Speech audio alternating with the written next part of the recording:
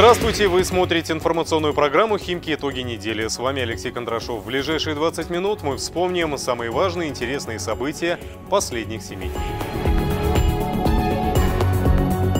Правильный завтрак – залог хорошего дня. Бизнес-завтрак – залог плодотворной работы. Именно поэтому уже традиционно глава округа Дмитрий Волушин за чашкой утреннего кофе встречается с предпринимателями. В этот раз за столом представители крупной компании-застройщиков. На данный момент в Химках нет планетария цирка. На медиа-завтраке обсудили возможный проект таких объектов.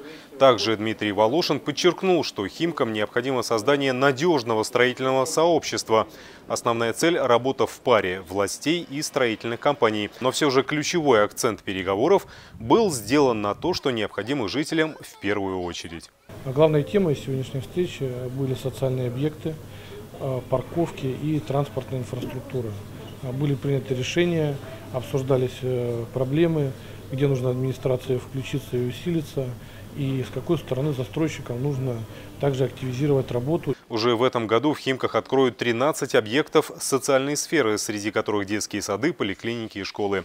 Также в округе появится 4000 парковочных мест. Подчеркнуть индивидуальность каждого микрорайона. В округе реализуется программа «Облик городов», в рамках которой каждый микрорайон приобретет собственный стиль. Свои цвета, свой логотип и даже слоган. Диана Ананьева подробнее. Проект преобразования территории представили жителям планерной. Микрорайон спортивный, поэтому в основу логотипа авторы заложили образ софитов, динамичные линии и яркие цвета. Все вместе образовало в логотипе букву «П», да, от э, названия «планерная», и стало, э, скажем так, элементом конструкции, которые выполнены именно из софитов, пересечения лучей и плюс динамические спортивные векторы. Такие цветовые и архитектурные решения вызвали противоречивую реакцию у жителей. Одни заявили, что не хотят видеть такие лавки возле своего дома, а также считают, что фиолетовый и желтый не самые удачные цвета. Но сиреневый – это вызывающий цвет, это неспокойный. Другие, напротив, уверены, что выбором цвета и форм должны заниматься дизайнеры. И если все будет сделано красиво и удобно, почему бы и нет? Выйти, посидеть, отдохнуть, провести досуг, чтобы детям где-то можно было играть. Разве это плохо? Руководитель творческой группы пообещала, что по итогам встречи в проект будут внесены изменения в соответствии с пожеланиями жителей. Каждую неделю в городском округе представители Госадмтехнадзора и Госстройнадзора проверяют состояние строительных площадок. В этот раз инспекторы посетили жилой комплекс «Солнечная система». В рейде принимала участие наша съемочная группа. Слово Алексею Житких. А грязь такая, посмотрите. Грязь такая, что на стройплощадке жилого комплекса «Солнечная система» можно принимать грязевые ванны. Строители оправдываются, мол, ничего не поделаешь, весна. Грязь, ну что могу сказать, грязь всегда будет. Пока будет весна и пока будет э, в России снег выпадать. Ну, я думаю, что мы с этим справимся, и в течение месяца здесь будет вообще чистота и порядок. Весна весной, а одна автомобильная мойка для такой огромной стройплощадки, где несколько выездов маловато, считают инспекторы Госадамтехнадзора. К тому же устроена она неправильно. Мойка есть, но она не совсем правильно спланирована. Видите, как там моют, а вода стекает сюда. И здесь выше. Получается, что помыли колеса, чисто выезжает опять в грязь. В результате грузовики разводят грязь по городскому округу. Жалуются на нее и местные жители, уже купившие тут квартиры. Инспекторы Госадамтехнадзора и Госстройнадзора в ходе совместного рейда в рамках акции «Весна на стройке» указали прежде всего на этот недостаток. Компании Urban Group выдано предписание и наложен штраф. Если ко времени следующего визита проверяющих здесь не станет чище, он увеличится. Машину повредит? В данном случае речь идет о неправильном складировании строительных материалов. По правилам безопасности они должны быть огорожены. С этим у застройщика тоже не все в порядке. Пока нас не удовлетворило то, что мы увидели. То есть мы видим грязь, складирование не в положенных местах, то есть места не отведенные проектом. Нарушение самой технологии складирования. Ну и у них немного неправильно сделан выезд. Их должно быть два с территории. Каждый должен быть оборудован пунктом мойки колес. До окончания строительства инспекторы ГАТАН и Госстройнадзора вернутся на этот объект еще несколько раз. В рамках акции «Весна на стройке» они проверят все строительные площадки городского округа. А теперь о других событиях уходящей недели. В микрорайоне Новокуркино строительство социальных объектов идет полным ходом. На Молодежной улице расположены площадки под школу и поликлинику. Накануне в фундамент образовательного учреждения заложили капсулу. Строительство же поликлиники началось в сентябре прошлого года. Объект здравоохранения рассчитан на прием 400 человек в смену. Все работы по строительству ведутся по графику.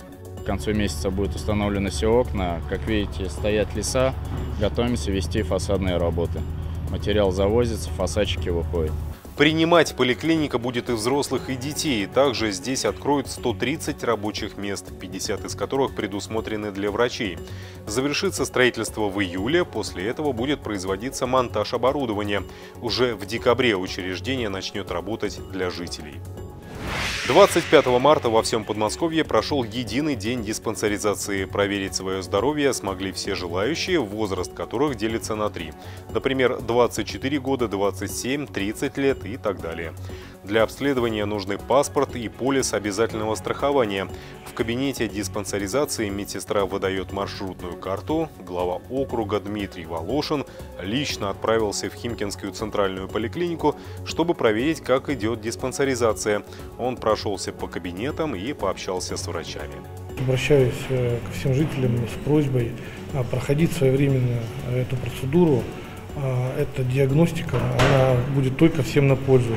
Э, сегодня занимает 30-45 минут прохождения диспансеризации в Химках. На первом этапе пациенту делают общий скрининг организма. Если выявляются какие-то патологии, пациента отправляют на дальнейшее обследование.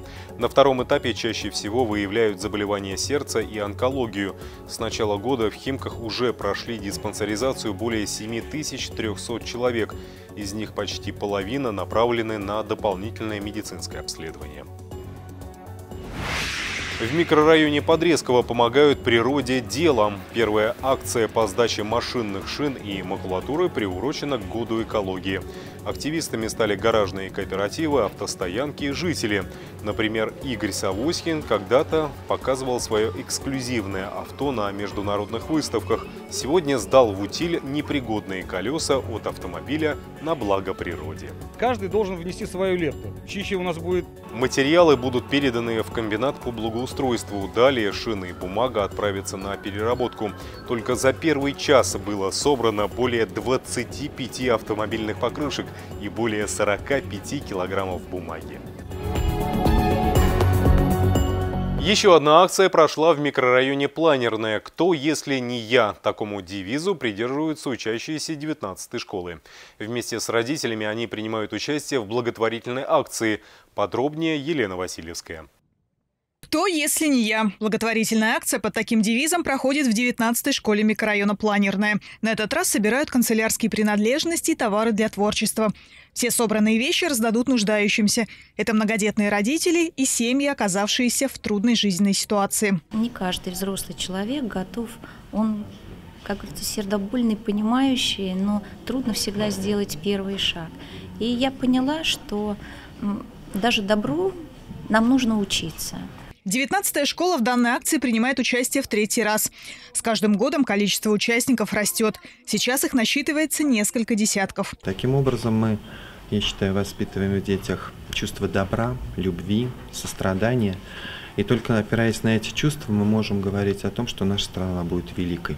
Среди откликнувшихся учащиеся с 1 по 11 классы. Не остались в стороне их родители и учителя – все вместе они собрали несколько десятков коробок. Мы остаемся вот неравнодушны, постоянно вот помогаем детишкам. А, кто-то, не знаю, помогает, вот, у них там дома какие-то есть лишние предметы. Кто-то, может, там у кого-нибудь есть деньги, они собирают классом деньги, ну и покупают какие-нибудь значимые вещи. Акция продлится в школе еще несколько дней. Затем волонтеры отвезут помощь социальному центру «Азбука здоровья» в Калужской области. Социальная программа «Вместе» расширяет границы. Теперь к перечню предприятий, предоставляющих услуги со скидкой, добавилось еще одно – автомойка самообслуживания. Где она расположена и как работает, узнал Алексей Житких. Всего 100 рублей ваш автомобиль блестит как новенький. Дмитрий Кузонов машину предпочитает мыть своими руками. Автомойка самообслуживания – отличный для этого вариант. Говорит, никто ее так не отмоет, как он сам, потому что знает машину как облупленную. Я вообще сам люблю мыть машину, поэтому где это знаю, где труднодоступные места, поэтому я привык уже сам мыть. Такие автомойки давно существуют в Европе. В Химках несколько месяцев. В городском округе сейчас их две. Возле торгового центра «Парус» и на юбилейном проспекте 81. Здесь шесть просторных боксов. К услугам водителя сразу несколько программ мойки. Здесь и шампунь активный, и порошок, и пена, и, значит, э, воск. К тому же автомойка самообслуживания дешевле обычной. За 100 рублей 5 минут мойки. Этого достаточно, чтобы как следует вымыть машину. И тем более, да, и по деньгам дешевле выходит. Напор воды рассчитан так, чтобы хорошо помыть авто и при этом не запачкаться. Мойка работает круглосуточно и пользуется большим спросом. Боксы подходят почти для любого транспортного средства. Приезжают абсолютно все, даже грузовые машины. Некоторые приезжают, сначала заезжают Э, передней частью машины моют, потом задней частью большие грузовые машины. Э, приезжают личные водители на дорогих машинах, приезжают такси, приезжают просто э, пользуются социальной группой граждан. Мойка самообслуживания работает и в рамках социальной программы «Вместе». К проекту уже подключились медицинские учреждения, химчистки, салоны красоты и другие организации, предоставляющие популярные услуги. Среди автомоек это первое. Льготники могут помыть здесь авто со скидкой 15%. Я хочу сказать, что в нашу программу уже входит 68 предпринимателей на всей территории городского округа Химки. После водных процедур остается только насухо протереть автомобиль. Для этого уже летом будет организована специальная протирочная зона. 24 марта во всем мире отмечается День борьбы с туберкулезом. Болезнь до 20 века была практически неизлечима. В наше время разработана комплексная программа, позволяющая выявить заболевание еще на ранних стадиях, а главное вылечить его. Слово Валентине Мордовиной. Прорыв в лечении этого недуга произошел в 1882 году, когда немецкий микробиолог Роберт Кох открыл туберкулезную палочку. Примечательно, что заразиться болезнью воздушно-капельным путем может абсолютно любой человек. Первый симптом, при котором нужно идти на флюорографию, это кашель более трех недель. Обследование дыхательных путей даже здоровому человеку нужно делать один раз в два года. Это чаще бывает, когда человек, э, организм человека, иммунная система ослаблена там, ну, благодаря каким-то вредным привычкам, э, благодаря таким стрессовым ситуациям, ну, частым болезням. Накануне Дня борьбы с заболеванием противотуберкулезное обучение прошли средние медицинские работники дошкольных и школьных учреждений микрорайона Сходня. Абсолютно каждый медработник должен уметь делать диаскин-тест. Именно он позволяет выявить присутствие бактерий в организме на стадии, когда заболевание никак себя не проявляет. В школах сейчас ежегодно для каждого учащегося проводят туберкулезную диагностику. Туберкулезная диагностика – это проверка, профилактическая проверка детей на наличие микобактерий туберкулеза в организме. Родительских отказов от подобных прививок мало. За 2016 год заболеваемость туберкулезом в Химках снизилась на 8%, в Москве – на 11%. Случилось это благодаря развитию фармакологии. Врачи убеждены, что это хороший показатель. Фестиваль музыки и танца «Весенний ветер» продолжает свое шествие по Химкам. Очередные конкурсные дни прошли в Центральной детской школе искусств. Екатерина Юшина расскажет подробности. Скрипка, виолончель, фортепиано, баян, аккордеон, флейта. Настоящий музыкальный марафон на сцене Центральной детской школы искусств. Здесь прошла очередная номинация фестиваля «Весенний ветер» – состязание между солистами. Наставники музыкантов ждут от ребят профессиональных выступлений. Везде должна быть уже подготовленность, чтобы была музыка, соответствовала и темп, и характер, динамика, штрихи. То же самое мы ожидаем от сегодня от детей, которые, допустим, мы выставили. Ну, хорошую игру, хорошее исполнение. Настоящие артисты на сцене сосредоточенные и серьезные, на деле просто влюблены в свои музыкальные инструменты. Мне очень понравился инструмент флейта. Я очень маму сильно уговаривала на ней играть, чтобы, чтобы записала. Мне очень нравится фортепиано, он такой нежный инструмент. Накануне здесь же выступили оркестры и ансамбли. Добиться красивого и гармоничного звучания не просто, говорят участники. Нужно, чтобы все музыканты в коллективе прислушивались друг к другу. Волнуемся за друг друга. Конечно, мы все время помогаем, не обижаем, на, ну, на друг друга смотрим. Фестиваль «Весенний ветер» завершится 21 апреля во Дворце культуры Родина, гала-концертом. В этот же день победители получат награды. Их родители носят звезды на погонах. Дети же претендуют на звание «Хрустальных звездочек». Региональный этап девятого одноименного фестиваля конкурса прошел во Дворце культуры «Родина». Диана Ананьева познакомилась с участниками. Участники – около сотни одаренных детей, судебных приставов, сотрудников правоохранительных органов, налоговой службы, прокуратуры, ФСБ и МЧС. Культура и работа в органах это не э, две взаимоисключающие вещи совершенно. Можно работать в органах и заниматься творчеством. Номинаций в конкурсе три – вокал, хореография и исполнительское мастерство. В «Химках хрустальных звездочек» выбирают впервые. Творческие соревнования для любого конкурсанта – это лишь этап в достижении новой высоты. Выигрывать для себя, как я считаю, а, проход в свое будущее, потому что мероприятие очень серьезное, конкурс был очень серьезный, а жюри очень серьезное. Пианистка Аня Синельникова заняла второе место. Ее мама работает в суде. Если бы мне бы встал вопрос быть вот на ее месте, ну, я бы, конечно, не, не согласилась, потому что это очень достаточно тяжелый труд и ну, я считаю, что я с этим не справлюсь. Этим летом на Черном море в детском лагере «Орленок» состоится уже всероссийский этап конкурса. Председателем жюри будет Иосиф Кобзон. В день судебного пристава 1 ноября в Москве состоится гала-концерт и награждение победителей.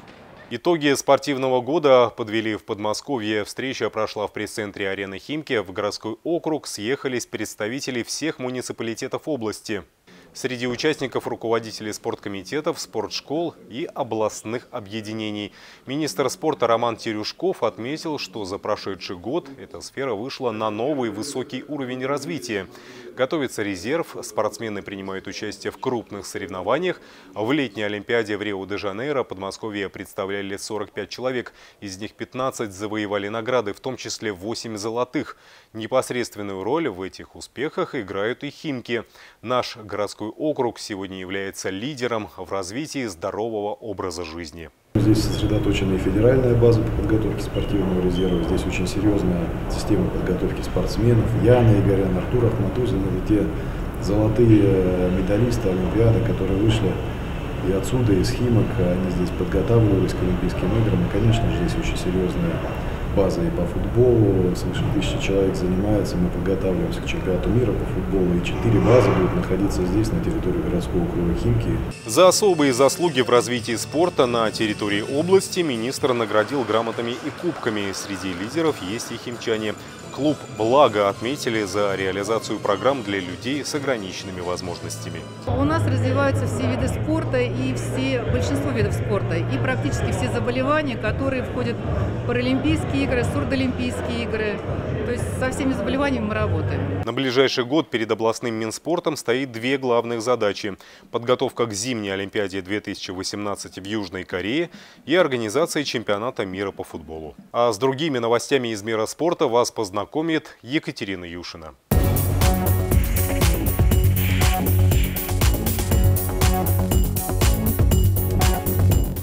Интересные новости от БК «Химки». Начала работать баскетбольная почта. Теперь на каждом домашнем матче болельщики могут передать письмо любимому игроку, тренерам, всей команде сразу и даже ежику. Почтовый ящик будет установлен рядом с магазином сувенирной продукции. На стадионе «Новые Химки» стартовал детско-юношеский турнир по футболу «Химки Кап». В нем принимают участие футболисты в возрасте от 10 до 16 лет. Всего 6 возрастных категорий. За победу в турнире сражаются больше 60 команд со всей России, в том числе воспитанники таких известных спортшкол, как Московский «Локомотив» и «Динамо». Состав участников очень э, серьезный, очень такой достойный. Команда клубной лиги. То есть для детского уровня это один из, э, я думаю, главнейших турниров. ФК «Химки» выставил команды во всех шести возрастных группах. Химчане 2001 года рождения уверенно сыграли против команды Строгино. Мы находимся сейчас в процессе э, как бы становления состава. Проведя зимнее первенство, пришло много ребят новеньких, команду добавилось. Э, было еще череда травм, как бы сейчас вот мы просматриваем, смотрим даем возможность всем сыграть. Возможность сыграть будет у всех воспитанников футбольного клуба «Химки». Турнир завершится 2 апреля. Нарушение опорно-двигательного аппарата не приговор. Люди с ограниченными возможностями здоровья доказывают это практически каждый день.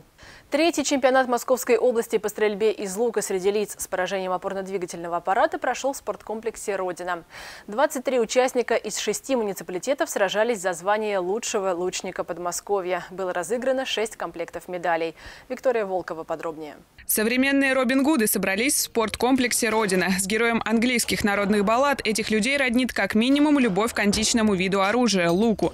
Здесь прошел третий чемпионат Московской области по стрельбе из лука среди людей с поражением опорно-двигательного аппарата. Мы, во-первых, первые, и в России больше нигде не проводятся региональные соревнования.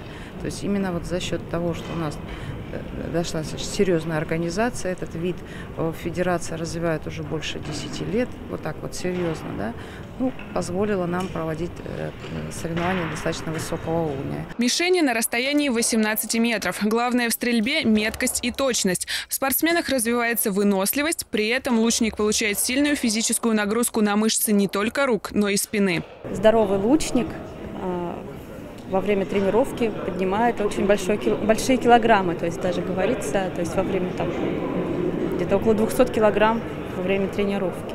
Ну, то есть, если вот это все суммировать, фунтаж там и так далее. Спортсмены стреляли из двух типов луков – классический и блочный. У них отличается техника стрельбы. Здесь разные прицелы, скорость и дальность полета стрелы, сила натяжения тетивы. Самый юный участник чемпионата – 13-летний Даниил Игнатов. Вот уже три года занимается на блочном луке. Говорит, этот тип оружия ему больше подходит. Каждое движение оттачивается часами тренировок. Самое главное – это контроль над собой. Если ты потеряешь его, то ты явно уже хорошо никогда не выстрелишь. Максимальной точности я добиваюсь тем, что каждое движение приходится по много раз повторять, и, соответственно, оно уже у тебя откладывается в мышечной памяти, и из-за этого тебе гораздо проще становится. На чемпионате было разыграно 6 комплектов медалей. Первое место среди женщин в стрельбе из блочного лука заняла химчанка Анастасия Худякова. Говорит, победа далась совсем нелегко. Ну, мы с Сашей, вот она второе место заняла, но мы, в принципе, на одном уровне стреляем с ней. Вот, поэтому соперник достойный был. Чемпионат Московской области по стрельбе из лука среди лиц с поражением опорно-двигательного аппарата собрал 23 участника из шести муниципалитетов. Организаторы надеются, что с каждым годом соревнования будут набирать популярность. Вот такой была эта неделя. Пусть следующие семь дней принесут вам только хорошие новости. Я Алексей Кондрашов с вами прощаюсь. Желаю всего самого доброго и до встречи. Смотрите Химки ТВ.